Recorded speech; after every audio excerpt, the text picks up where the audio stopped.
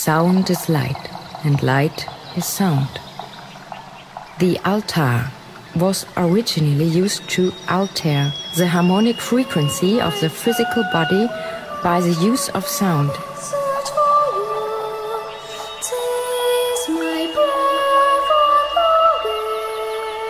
Sound free from special defect or injury.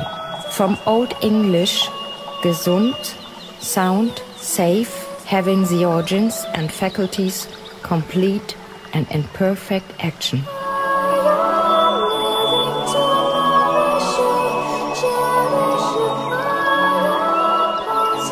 From Proto Germanic Sunda, from Germanic root Svento, healthy, strong.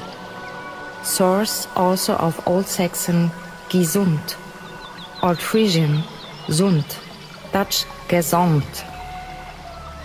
Old High German gesund, German gesund, healthy.